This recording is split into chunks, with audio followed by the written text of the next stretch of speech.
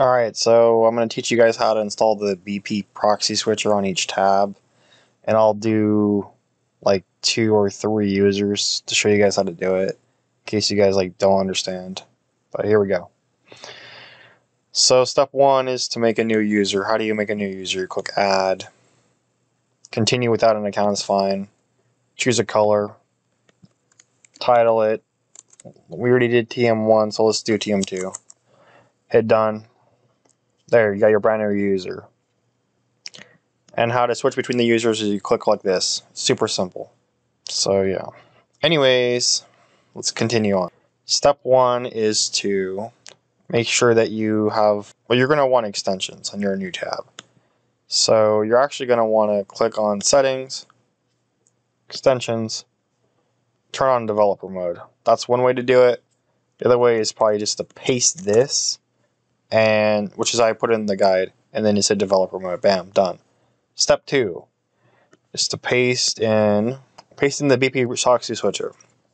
So we need to paste that in. All right, so here we go. Next step, bam, paste in the BP proxy switcher. Let's get rid of those tabs. All right, here we go. So the next step is to add to Chrome, add extension. We add to Chrome, add extension.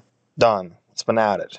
Now you need to click the puzzle piece, pin it, like I said, click on the extension, click the edit button. The edit button's right here.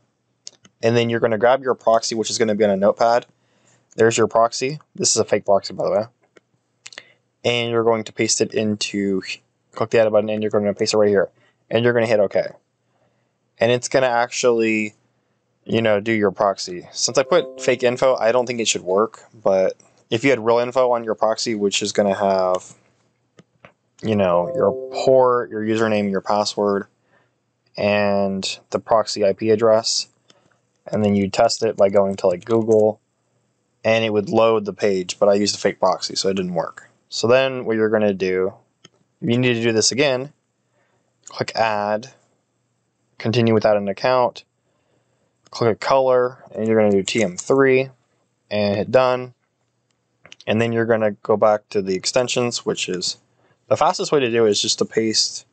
I would probably just have this link right. I'd probably just have this link in your extensions right here. Just have that right there ready to paste and go like this. Bang.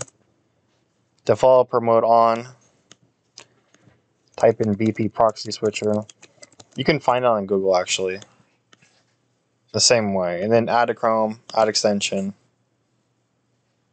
And then it's been added, puzzle piece, pin it, click there edit, paste your proxy in, and grab it. Hit OK. And then you're going to click on the proxy and it's going to be loaded and you'll have your next tab. So you'd have like a list of like 25 to 50 proxies and you can continue to repeat the process. And it's going to actually load in your proxy. If you have any questions, just message me.